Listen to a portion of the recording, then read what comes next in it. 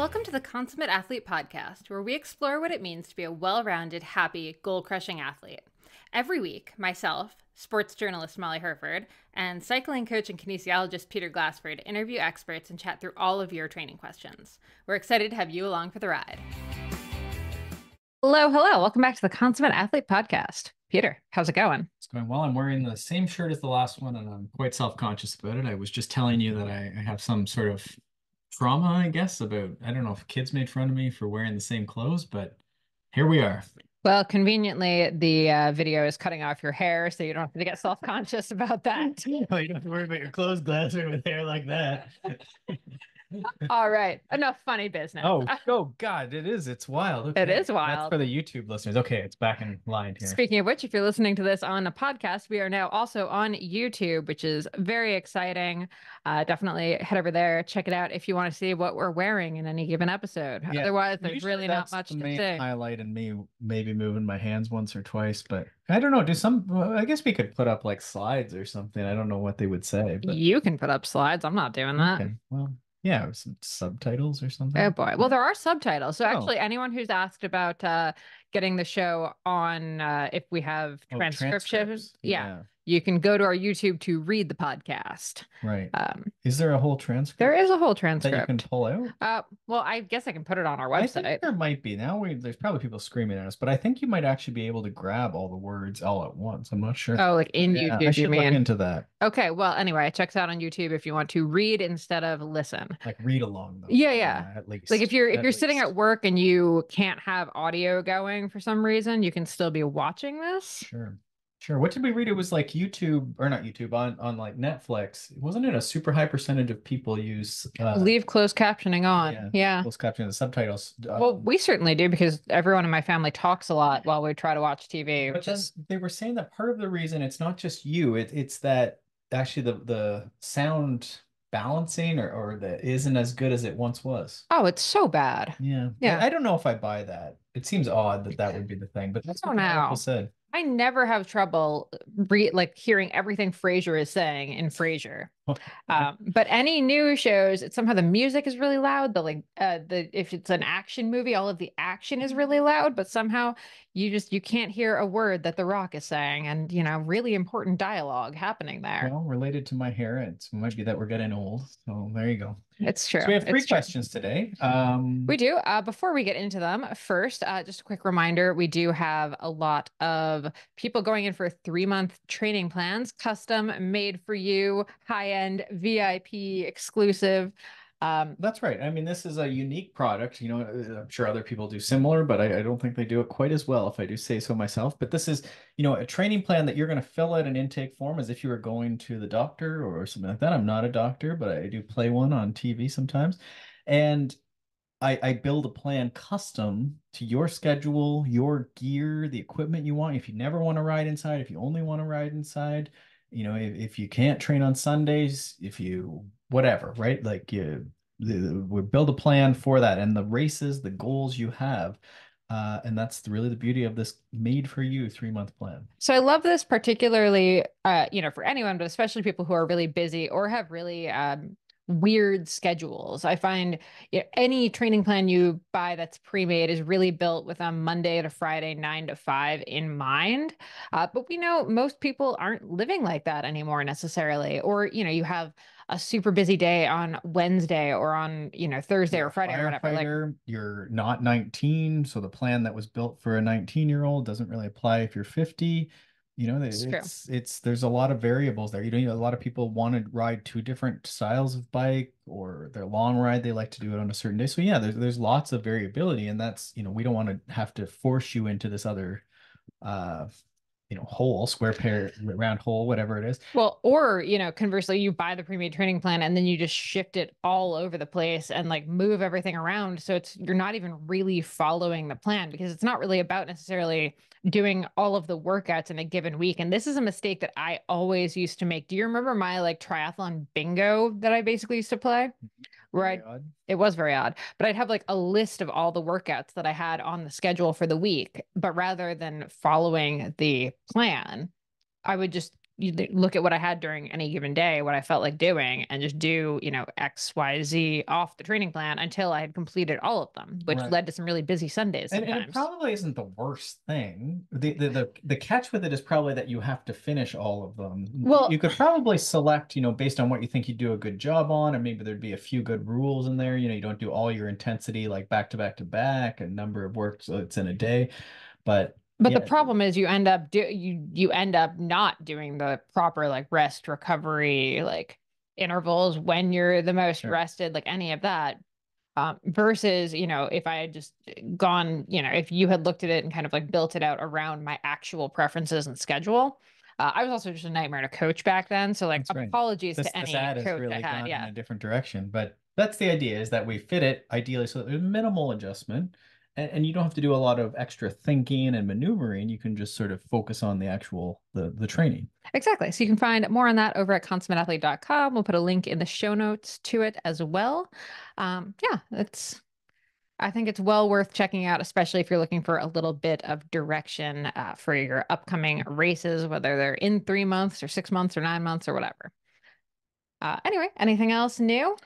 No, I was going to ask you, you know, we're doing these Q&As maybe a little more frequently in 2024. That's sort of the feedback we got was people like the Q&A, so maybe build upon those a little bit. Still some interviews. We'll do some great interviews. We'll have some good people back. We had a lot of really great ones I thought in 2023. Oh yeah, Uh, we just did a repost there around the holidays with Stacy Sims, which everyone seemed really psyched on again. That was our, our one of our most popular episodes from last year, the 2023. and like let's be honest, you almost peed your pants when we got Kelly and Juliet Starrett on the That's true. podcast. Although this year. funny story, Molly was just one night was like, I have to go call someone, and I was like, "What is it? It's 7 p.m. What are you doing? We don't usually do a lot after 5 p.m." She's like, "I have to call Kelly Starrett," I did. It was great. and this was for another. It wasn't for the podcast, but for an interview for an article, and they're on the West Coast. So yeah, she just sort of walked away and just phoned her buddy Kelly, and I was just sitting in the base or in the and downstairs, just sort of like beside myself that this was happening. It was great. And that article will actually be in Canadian Running Magazine, I think next month, uh, sort of all about can you balance longevity and performance in running? And Kelly was great for that. Oh. Uh, but if you missed that episode, definitely go back and read it. Uh, Is there any other big news topics that you've written about this week? well, I was actually just talking about this on another podcast I was on. I was on my friend Carrie's Plucky Not Perfection podcast, and she asked me if I had a word of the year. And actually, I happened to have been writing that article that day. Uh, so, uh, yeah, a couple weeks ago, I posted my word of the year. It's something I've been doing for quite a few years now. I mean, it's it's very kind of zeitgeisty, I guess, now to do that every year. But I feel like I was doing it before it was cool. Uh, but I think you read something. oh, I definitely read it somewhere. But it, when it was still like a like lesser known thing. where you got this. But in any case, It's what, what been a was, few years. So you wrote this article. Was there a new twist on the word of the year, or Well, I you have just a new- pick one? I have a new word of the year. Okay, what's this year? Well, this year it's this year the twist I guess is that it's the it's the word that I was going to choose last year, but at the last second I changed my word. I know. Uh, so it was going to be strong last year in 2023 and at the last second I changed it to intentional, which felt very vibey at the time, very like uh, you know, I was reading a lot of like well-being and meditation and you know, living the soft life. Uh, I realized very quickly that's not for me. Okay. I don't know who I don't know who I thought I was. Um, and clearly strong just kept coming up and up and up given I started Strong Girl Publishing. I published my book, The Strong Girl. Um, you know, obviously strength training is like always a part of my stuff, but It was a big year for it. That was my prediction. Yeah. it was. So this year we are just leaning in. We are just owning strong. Oh, so you're going with I'm going year's? back. I'm going back. I'm going to the word that I abandoned last year. Well, I guess what was that? You go with like your gut instinct and things. Well, There that was it. So I learned that in 2023. You go with your gut. I learned that you should go with your gut. And I just read something to the the alternative of that is that it's actually a horrible idea to go by your gut. Yeah. who said that? I don't know. I need to read more about it, but I was like, okay, this makes sense. You need to be careful. I mean, I agree. And, you know, I think that's why at the time intentional seemed good. But looking back, I realized it was, I'm just so impressionable. Okay. Like, I, yeah, I was so maybe hundred careful going with your gut then. Well, the funny, th- yeah, careful with your gut because my gut was like, oh, intentional makes sense. My gut goes in a lot of different directions, is really the key here. Right. Okay. Yeah. But it was funny. The embarrassing thing is, so the the reason I picked intentional was uh, a blogger that I read all the time, and then she put out a newsletter in February of last year that was like, uh, you know, responses from her community on Instagram. And it was like 75% of people's word of the year was intentional. And I was like, oh my God, I just got unconsciously influenced into this word of the year. Right. So I never really loved the feeling. Um, and yeah, clearly uh, February is when I came up with the idea for Strong Girl Publishing. And by okay. May it existed. So there you have it. So is this the article you're telling me about? Yeah. Okay. Yeah. So you can check that out over on consummateathlete.com as oh, well. Oh, it was for us. Okay. It was for us. Oh, but you got interviewed about it. Okay. I'm yeah. with you. Yeah. Lots of things. Okay. Okay. Let's get into the questions. Yep. We got three where we have three today. We have three. Uh, yeah. So first one up is I actually really like this one is what do you do when you run out of weight? So in particular, this is about weighted carries. They don't have enough weight for them. How do you progress with that? I think it's a great question. I think it's very common for cyclists. I think after pandemic, you know, a lot of people got into strength and were doing it at home, you know, or they were already into strength and they were doing it at home. And, you know, you maybe got the 20 pound dumbbells or the five pound dumbbells or whatever the weight your dumbbell is. And then you're trying to do a new exercise. You know, we're really big on the weighted carries. So you just basically pick up some weight and you walk across the room. Now the catch is it needs to be quite heavy uh, you know, I always say it's heavier than your squat. It's not as heavier as your as a full deadlift, which may not mean anything to some people if you're not doing heavy stuff. But if this is like the weights that you do overhead press with or upper body exercises with, it, it's it's obviously not the heaviest weight you can pick up, and and it's not going to challenge your grip and your breathing. What you want with a, a farmer's carry is like essentially you're going to drop it.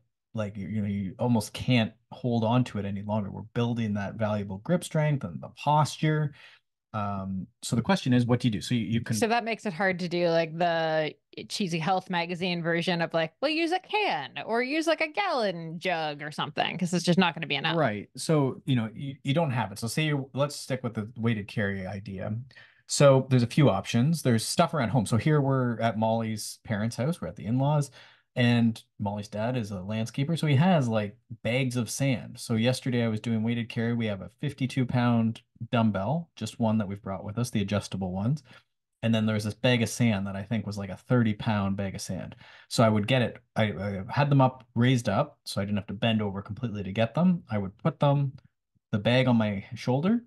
You can choose how you support it and balance it around. And then I would grab the 52 pound dumbbell and then carry that. And I was like breathing was a challenge because now you have a thing on your rib cage and you're sort of weighting you and it also was like getting you know heavier uh to support all this and well and i love that because it, it really challenges you in a lot of unique ways and actually i was just reading uh, michael easter's the comfort crisis fantastic book highly recommend and he does talk a lot about when we lift weights in the gym, often it's machines that hold the weight in place for us. And even free weights, you're using an exact poundage, mm-hmm. uh, which you know is great if you're trying to progress and like gauge your you know write it down in your Excel spreadsheet or whatever. Uh, but it's it's not really in the wild, right? Your groceries are not going to weigh 25 pounds; they're going to weigh you know whatever they're going to weigh. Well, or the loads you're resisting when you fall off your bike or try and hold on to your yeah. bike or, you know, running, you have to stumble sideways and maybe put your hand into a tree, right? You're, you're having to resist these loads and push or pull or whatever you're doing. So you bring up a, a great point that, so I said you could use something around the house. You know, what else do you have that's heavy? Cinder blocks, rocks, whatever. Careful. Load them into yeah, a suitcase. You need to be careful that you don't bend over and pick some of these irregular loads up straight off the ground. I would raise a lot of these up, especially for something like a weighted carry. Um, but it, I mean, squatting would be similar. We have a squat rack so that you don't have to pick it up generally off the floor as the weights get more challenging. So I said that. I said with weighted carries, and, and there's a MyFitnessPal article. Uh, if you Google, everyone should do more carries. It's still up, um, and we'll link it in the show notes. Uh, but it has lots of the variations of the carry. So I was doing one where I had something on my shoulder. So let's say you you have two 20 pound weights. If you put say say your shoulders are in good shape and you don't have any concerns putting stuff overhead if you just put both your arms overhead with those two 20 pounds your arms are straight over your head and you're walking carefully across the room or the gym or wherever you are that's going to get a lot more challenging than just holding on to the 20 pounds at your feet Ooh, I love that. I was the I, there's a variation that you know you could do one up and one down, and then the down one could have a bit more weight in it, but then the the up one doesn't have to have a lot of weight. If you put a weight up above your head, it's a you, you can't put quite as much as you can hold in your hand, um, but your arms up, so your shoulders get tired very quickly. Uh, so that would be just the variations of all the the carries would be where I would go with that. And then you, sorry, uh, a long way around here to get to you don't need to have the same weight side to side. So you could go to suitcase carry as one of the variations, all the weight on one side like a suitcase, or you know, you load up like a a bag or something, or maybe you're like us, you have a 52.5 pound on one side, and then all you have otherwise is a 10. Well, right. put the 10 in your other hand and maybe put it overhead or or not, right? But that's 60 pounds and, and that's more than 52 that you've been doing. And, and you walk across the room and yes, one side is a little heavier, switch it halfway down or switch it the other set. Uh, and, and that's great. Love it. Love it. Um, And anything else, like I mean, that was carries. Um, but if you you know, if you're one of the people that had the 10 pound weights, any tips for well, for the really light stuff, I, I think it's not a big deal to like really carefully fasten stuff together. Now, I didn't tell you to do this if it drops on your head or something like that. So be smart. not a it. doctor? but there are some pretty industrial if you go to home depot or something you can get like the they're like tie downs that are like rubberized things to tie cables and stuff together and they're quite strong but if you got a really industrial sized zip tie or uh something just you, you want to really tie them together but some of these smaller weights you could hold two in your hand probably You've even done, I had ankle weights or Mhm. little tiny, like one pound, like hand weights, and you actually, they Velcro and you Velcro them onto weights. And, and for some of us, you know, the jump from five to 10 to 20 on an upper body might actually be a lot, uh, you know, depending on where you are. So indeed, some of these like little, if you do have ankle weights or something like that, you can actually just put them, you know, safely. You can fasten them to your weight probably without it, you know, there's really very little risk with those. Uh, so, so, so that would be the other thing. And you could maybe find other stuff around the house. Again, careful, but that's that's the other thing. with carries, you know, and, and probably some other stuff. Rows, you could certainly use like a bag and, and put a few dumbbells in there. If you had like a whole assortment of one pound weights, you put them in a duffel bag. Suddenly, it's a twenty pound duffel bag. You know, you might break the strap eventually doing rows or or carrying it across the room, but that's a suitcase carry. Like make your suitcase. You know, what's the limit to get on the airplane? Fifty pounds. Yeah, something to that Yeah. effect. So find a 50 pound suitcase, right? Yeah, fill, fill it up with all the stuff you took last time you did a trip. right? Yeah, try to pack for a weekend and see how much it weighs. Um, and I mean, also just scope Facebook Marketplace, all of those, because I think a lot of people are, in fact, selling a lot of their pandemic gym purchases. Stuff got wild, but yeah, if you if you watch and just be patient, you know, eh, don't be in a rush to get it today. But yeah, you should be able to find some of these heavier weights, the kettlebells, yeah, the the adjustable dumbbells, different things, doorway pull-up bars we love. Yes, Yep. cannot recommend those enough. Worth their weight in gold. Uh, so hopefully that helps. Uh, when in doubt, you know, there's other ways to make stuff harder. I guess you would have range of motion, so go deeper. You know, if you're not using full range of motion for a squat or something like that. Um, even push-ups, you know, you can raise your hands up and then go a little deeper again, gradually, because this is going to cause more soreness.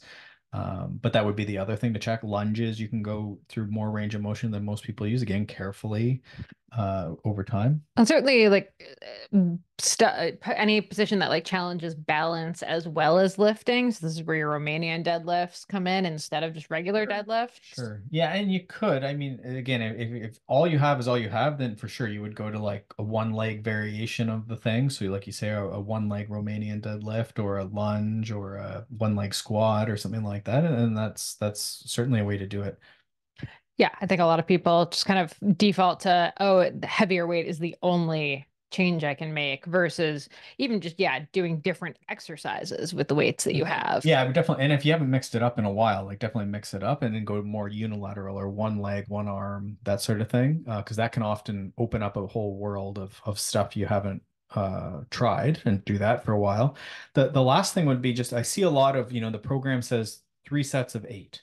And so people will only do eight, but it is completely fine to just go till it's hard. If if the weight you have and it's like it's 20 or it's 12 or it's 30, that's sort of where you're at until you get more stuff or you figure out how to make it harder. So that's that's fine. And, and then note that in your book that you did overhead press for 20 reps.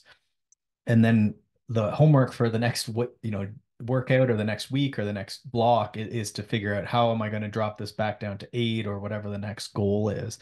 Uh, but you definitely don't need to stop always, you know, just for the sake of the workout. You sort of want to think like, did this get hard at the end? You know, I've done this workout for the last three weeks, and every time I do three by eight, well, if it was eight to 12, do 12. And then if you've done 12 the last time, well, this is the sign to progress it, right? So somehow. Mm-hmm. Love it. Okay. Next question. Should I be fueling with sugar powder, aka carbs, on all rides? Should they be pure carb fueling, so like a tailwind for low intensity workouts, or looking for something with some other macros for the low and slow rides? I feel fine on carbs, just curious. And I think this was like sort of in the base off season, you know, where we're Okay. now, right? Where it's not necessarily like during the race season. Mhm. So I, I think a smart thing to ask, you know, Mhm. when and how much and and whatever. And it's, you know, as always, it depends a, bit on the person and what they're trying to do. Uh, what do you do? Uh, I mean, I am a straight carbs all the time person. Uh, So you use Tailwind. I use Tailwind Um, primarily. I, and you've been using maple syrup. Yeah, So I in like a gel flask. Yeah, but I don't really, especially on the run, I definitely don't really mess with much else beyond that. The occasional flat Coke during a race or like, Mhm. you know, during like a super long one, I Mhm. might have had like Chicken a soup. cookie or uh, yeah, sip of soup. But that was, I mean, that's a hundred miler. Like Right. the yeah, 50 mile or whatever I did in October, that was straight So tailwind the entire do, time. even when you're training, you don't do bars or no, bananas, no, but- sandwiches. but okay, here's the caveat though. Definitely not sandwiches. That's weird. You don't uh, got a hoagie? Don't got a hoagie. Uh, okay, so the caveat here is I'm a runner with a very sensitive gut. Like I have a lot of like gut distress when I run if I'm not careful. Mhm. Even if I am careful, I have gut distress on the run. So I don't add extra stuff to my fueling. Uh, I also find it's very hard to chew while you run. Uh, I just don't find it enjoyable. That said, on the bike, I'm definitely a lot laxer with what I eat. So when you know when we were in Spain coaching training camps, they had these crepe things that were stuffed with with like a Nutella type filling, Mm. and I housed those. They were on- amazing. They, they were came in so this, they were like they were sticks. Uh sticks the wrong word. What what did they look like? What other It food comes? It, it, reminds me almost like a hot rod, but it was bigger than a hot rod. But that's Please sort of- stop making that gesture on video. sorry. Yeah, and I saying hot rod. Yeah. Uh, Apologies to anyone watching on YouTube. We're gonna get banned. So there you go. You can imagine, I guess, but it was cylindrical and, and it, but it fit in a jersey pocket. And was delicious. yeah, but it was also just super cheap. I think it was like two euros for 10 Sure. of them. They were just crappy, like grocery store things, sort of akin to it's not, did not taste anything like, but akin to like riding with Fig Newtons or something, sure. which also I will do on rides. So I'll add something that would maybe have a bit more fat in it, a bit more fiber, a little And bit of may- protein. You might have stopped at a few coffee shops for pastries. Sure. So the um, fat content I would say is probably higher when I ride, but not purposefully. And that example, though, you know, you're sort of on a training camp where you're doing a ton. So your body, you know, you sort of want to make sure that there's a ton of fuel there, enough fuel at least, uh, to, for your body to keep adapting and not bonking. So there, uh, you were probably doing a bit of sugar powder or gels, and then some of these solids to sort of augment it, get you through a long day. Mhm. And I think that's that's important. Now, the one we're not looking at is the cyclist then who's doing sort of their off-season training. They're mostly maybe on the indoor trainer, maybe, you know, they're doing a good balance. So on the weekends, they're trying to get outside. They're maybe doing like some fat bike rides or cross-country skiing. So the question to me then is, you know, do you use sugar every single ride? You put tailwind in the bottle, you go down, you do your hour, you put tailwind in your bottle, you go and do your cross-country All skiing. right, look, we are not made of money. We are not doing that. I'm actually like, I'm furious anytime you leave on a ride and I see the tailwind out because I'm like, that is expensive. Send it, I guess. I know. So I, I think what I would do is I, I especially if I'm on the trainer, I'm big on fruit, you know, orange slices. This could be like I've seen people do sandwiches, and you're probably not that far from your kitchen. So I say, you know, Take your bathroom. take a break at an hour, go for a bathroom, grab an orange, grab a banana, grab a sandwich, leftover pizza. I was more making a gut distress If- if- joke. If, the intensity isn't high, this is you know general rules of fueling, and this is across the the year. This I don't think is specific to the base phase, but if the intensity is low, you can probably, as Molly said, she did a hundred miler. She was eating soup. There was people having brisket during that thing. Like people have all sorts of stuff, bacon, to be clear, no one won on brisket. but they they did it. Um, so you know when you when it's not super intense, you probably don't need the sugar powder unless we're in that big base camp situation where you're really pushing the limits of you know you're going really long. There's maybe times where you're climbing a mountain and it gets a little more intense and you just need to try and keep the food in to keep up with it. You're probably not going to be able to, but you do the best you can. So you're doing sugar powder and some solids in that camp. When we're at home, I think you're thinking, you know, maybe for that Zwift race on Tuesday, the high intervals you do on the Tuesday and the Saturday, maybe those have the sugar powder, maybe a gel if you want, or maple syrup or honey or whatever you're into, the sugar. And then the other days, I think you're probably just eating before and after if it's about an hour or, or you know, maybe up to 90 minutes.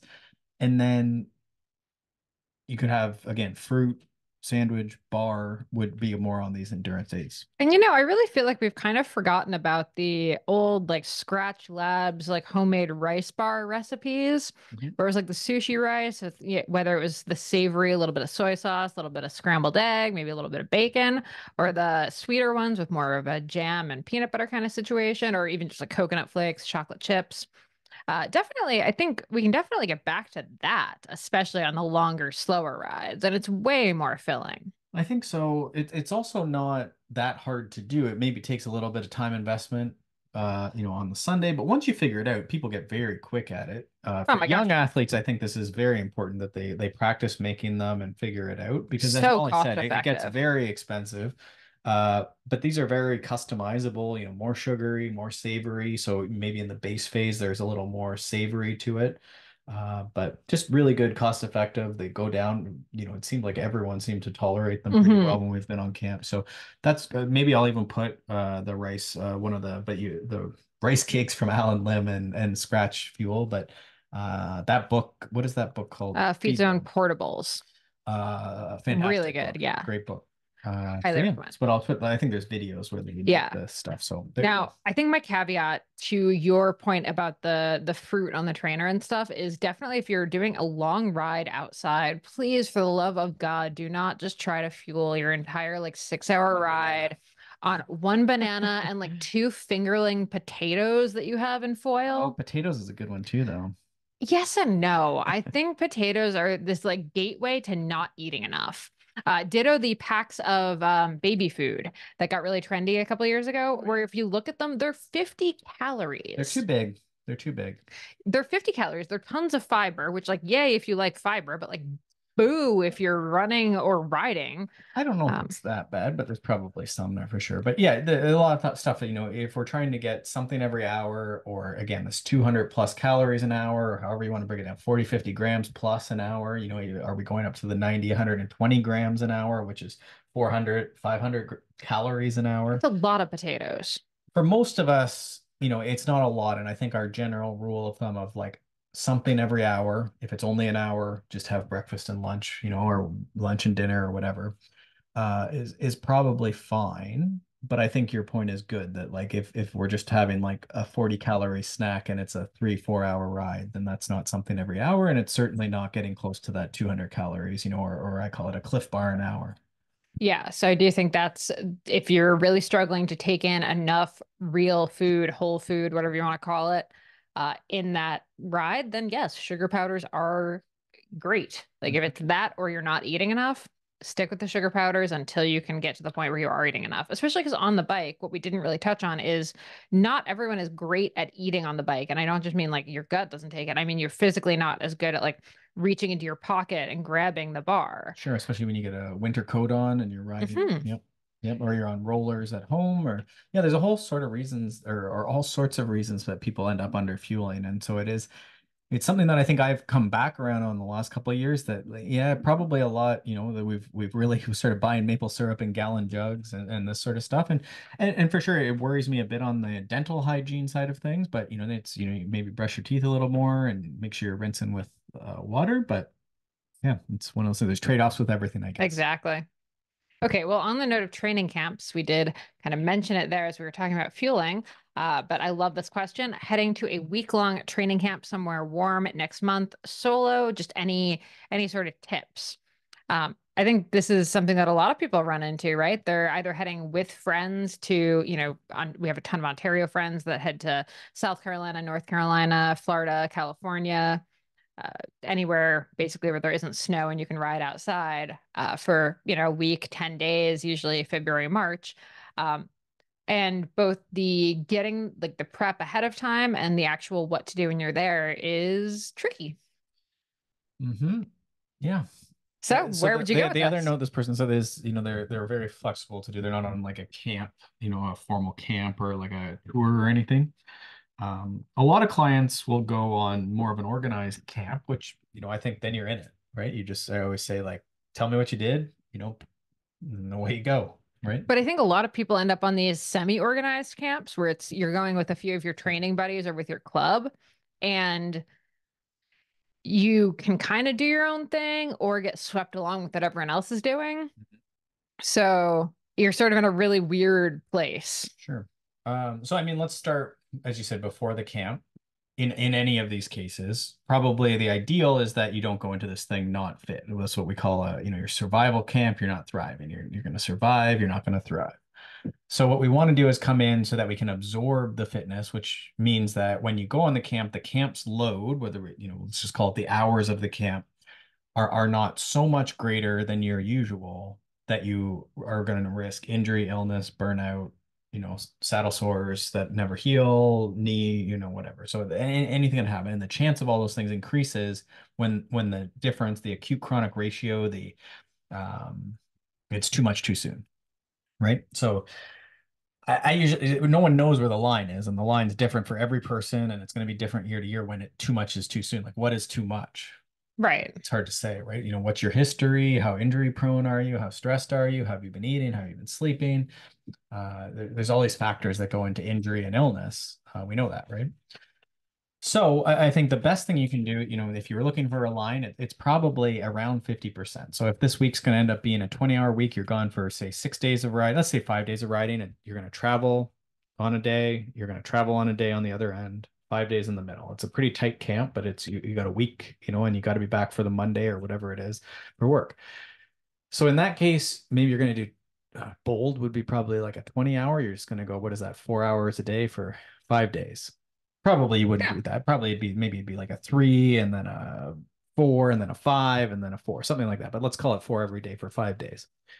So well, then I would say that a good target would be at least 10 hours of biking. Uh, so this could be on the trainer or outdoors or a bit of both is probably a good way to do it uh, in the weeks before. Now, a lot of people like to take a rest week before. I, am always medium on that. Sometimes I like to have a little bit of training the week before, and then they go to it, and then it's either a two week or or maybe even train a bit afterwards, depending on what the camp was like. Uh, it could be the last week of a block too, so you could do a three week block even. You know, week. You know, so you could go like a ten and then a twelve, and then you leave and you do a 18 hour week or a 20 hour week.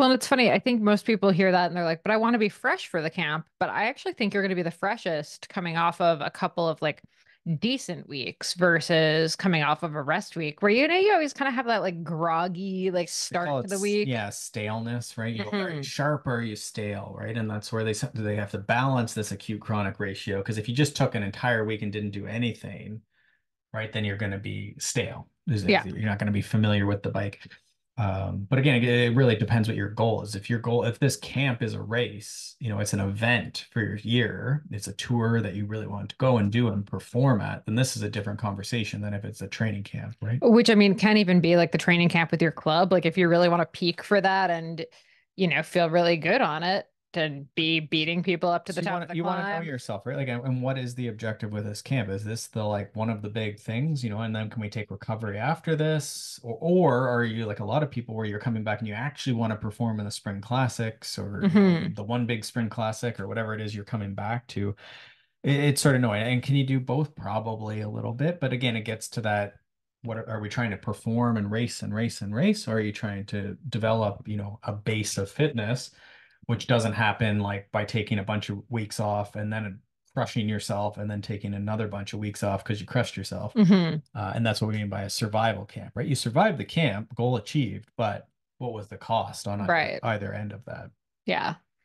Um, I also think uh, outside of the actual biking you can do at the camp, a couple of things I'm thinking about is first, uh, training camps can either be pretty healthy or they can be just like ridiculous in terms of the the food and the alcohol that ends up on them especially if you're there with your friends so just being like very cautious about you know how much you're drinking what you're eating not to say you shouldn't have pizza you should definitely have pizza uh, but maybe we have like one glass of wine not a bottle mm-hmm. um, it's very easy to i think get into those like more unhealthy uh, modes of being when we're at these camps especially if we're with friends mm-hmm.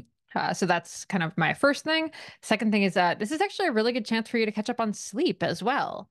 Uh, you know, definitely not saying you should be the party pooper who like goes to bed at nine when everyone else is staying up and having fun. Mm-hmm. Uh, but maybe this is a good chance for you to actually get that sleep. It's also going to help you recover more for these big days that your body may not be totally used to.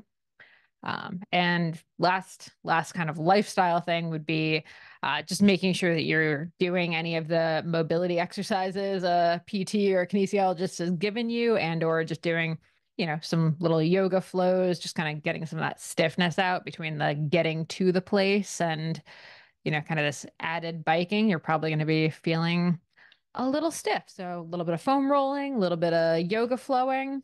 Sure. Yeah, whatever you're into. And definitely that travel, you know, if it's a long drive or it's a big day of of, you know, planes, trains, and automobiles. Certainly, you can see that where the back pain gets a little, you know, people mm-hmm. just a little groggy. So it's certainly opening up, starting with a walk. You know, not not really judging yourself on that first day. I always like to put, you know, this like take it easy around travel day, you know, on either side of the travel. That's about a 45 minute spin, you know, maybe 90, you know, where you just go to maybe go find the lo- local coffee shop, you make sure your bike got together, and you just don't really judge yourself or go out on any super big thing. And if we have the time again if it's a short camp where it's like i only have four or five days then it, it's tough to give up you know a day or two with something like that but i would um, just argue you could do a short spin in the morning and if everything feels good come home have lunch and then do another ride in the afternoon if all systems are go mm-hmm. right yeah. we often think every ride kind of to your point you're like okay day one's a four hour day two is a five hour day three is a seven hour right. 18 hour yeah. uh, whatever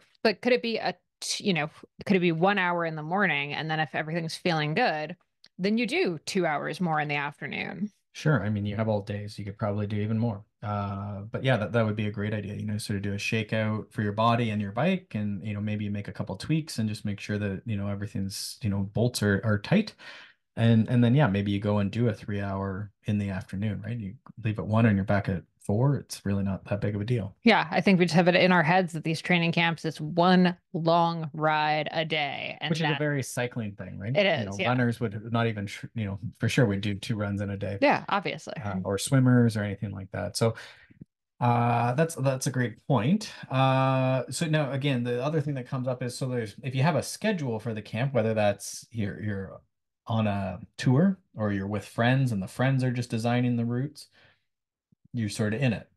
There's not a ton of choice. And, and I think that's an okay. It probably doesn't matter that much as long as you're ready for the challenge. So it's good to know in advance what the, the camp is that you're preparing for.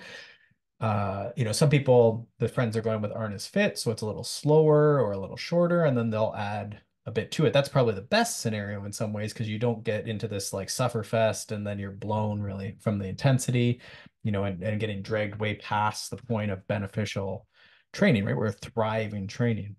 What do you think about the I'm I'm I hate the last day phrase because I feel like I'm just jinxing anyone who's listening to this.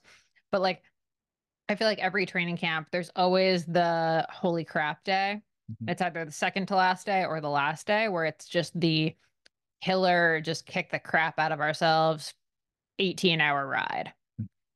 10 people do that. I mean, I'm sort of of two minds because honestly, like having done those, it's fun, mm-hmm. you know? Yep, true. I, I, try and encourage not doing it on the last day. I, I think you can have a queen stage, you can have a, a big day, a big exploration, and you're gone a lot of the day for sure. We have to recognize that for most adults, this is fun. This is like their vacation.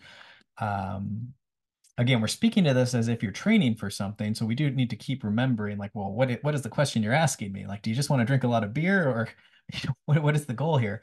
But I, I think there's a balance there between training, you know, quote unquote, seriously, and then also going for adventures, which probably are beneficial, you know, especially if you're doing something like Unbound or any of these things that are sort of a wild adventure. you don't know what's coming; they take all day. So I, I don't think there's a problem. I would say do it on the second last day, third last day if it's a longer trip you know, somewhere in there. And then the last day, just let it be smooth and be done by around, you know, midday, bike clean, bike cleaned up, and then go, you know, go for a, a hike or go for something else where your bike isn't going to get destroyed. You're not going to get stranded. You're not going to crash really badly because we've seen it too often where it's like you spend the last day and night in the hospital and everyone's sick and injured and lost and you know it's super stressful. Maybe you get a present for your partner who's not along on the camp especially if he or she uh, is taking care of the kids while you're gone. Just putting that out there. And so what we've done in the past you know and it's sort of you know pick the piece of your favorite ride you know we've ridden you know i've met you somewhere you know you do the one mountain climb i really liked and do a good hard interval to finish it but then like you know safe descending home and then we meet you know for lunch or something and we walk around the place wherever we are. Make it a good day but yeah I, I would save the like the kick the crap out of yourself for the second last day if you're going to do something like that. Yes absolutely. And just you know getting ready for the airport and stuff again like uh, give yourself the afternoon and, and yeah. to do that and relax. And again if it's here if we're trying to have a vacation where we're relaxed we're enjoying it like it we probably don't need to be out on the bike all day. Yeah. Uh, and i think last thing is just uh, remembering right now really bad cold and flu season this year. So definitely leading up to the camp you don't want to get sick. During the camp you don't want to get sick. So all of the usual you know take care of yourself wash your hands. You know, if you're a high risk person, maybe wear a mask in airports and on planes, especially if you don't like, honestly, I'm just saying, like, if you don't want to get sick at the camp, wear a mask on the plane. Sure. Like, it's probably the smartest thing you can do. Well, like, I think this gets to, you know, we train consistently, we sleep really well leading into it. I usually say, you know, don't touch your face, wash your hands. The mask can certainly help with not touching your face as much.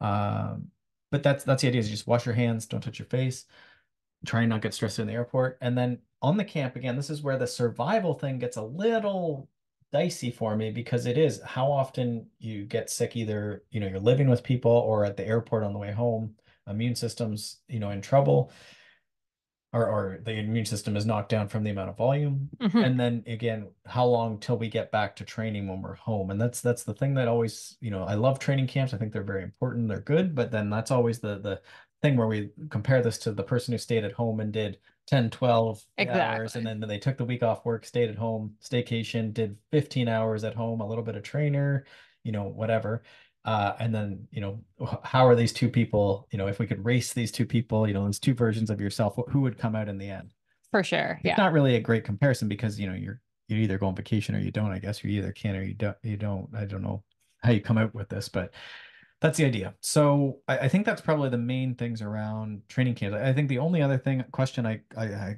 think we haven't covered is the like, do you do intervals on the camp? Oh, I, I, think this depends a lot on on what you're doing, right? If you're really pushing the volume and, and, you're doing big mountain climbs, I think that's built into it. That's why a lot of the times when people tell me they're going away, even if the, it's you know them and their spouse or you know short of it being just you on your own I probably wouldn't. I would just say, you know, here's a little bit of guard guardrails, maybe depending on the person, three to five hours. You know, try and take a day off every two, three, four days. Um, you know, again around the the travel, some of that stuff. But if you were there solo, you know, you, you really do have all day to yourself, especially if the if the camp starts getting seven, you know, over seven days, ten days, two weeks. You know, some of these people can leave for a longer time. I think that's where you have to go back to more normal training, where we would today is a hilly interval ride. You know, tomorrow is a flat, longer day. You know, you're taking a day off, you know, on the appropriate days. Uh, I, I, think that's probably where we want to be a little more. So if it's a if it's a shorter camp where, where it's sort of just ride, you know, as you like, but when it gets longer, uh, or or if you're on your own, you know, maybe there's a little bit of of structure to be put in there. I think especially also if you're on a camp where it's very flat, right? Like we spent a chunk of time last year in Florida where it was incredibly flat. So I think there you actually almost have to vary your intensity a little bit just because otherwise it's there's just no change versus if you're in a hillier area then your intensity is just going to kind of naturally ebb and flow. Just you got there's most people don't have the the fitness i think to to not be doing some sort of intervals call it sweet spot when you climb a mountain right? Like it's just exactly. it's going to take 200 watts or whatever it's going to take and that's you know for most people they're working pretty hard. Um, if you add other people into it there's going to be moments where it's harder than you want it to be. We'll call it an interval and, and enjoy it Yeah, and in Florida, I think you got to sort of press the lap button and, and do some sort of interval, uh, which might be driven by the group you're with, right? Again, if you're with people, that's one thing. But if, when we were solo, yeah, you sort of need to say, you know, I'm going to do strides for you. You're going to do these 30 second pickups. Um, then for me, it was sort of I did a bit of off road time trials, um, and a little bit of work. Just they had like a uh, bike path, and so I would just do a bit of intervals on the bike path for sure. But there was no. You're right. It's it's hard in Florida to do the the Uh, climbs. I would just throw the dog in the doggy jogger and do some resistance running. That was great too. Sure. All right. If you have any other questions, we'd love to hear from you. Hit us up. We have a contact form over at consummateathlete.com. You can find us on Instagram at consummateathlete and hit us with questions there, or me over at, at Molly J. Hurford. Peter is at Peter Glassford, and we will be back next week with another episode. Thanks so much for tuning in. Thanks so much for tuning in to the Consummate Athlete podcast. If you want to hear more training, racing, and endurance sport advice, make sure you subscribe to the podcast and leave us a rating and review. You can also subscribe to our newsletter at consummateathlete.com for a weekly dose of inspiration and advice straight to your inbox.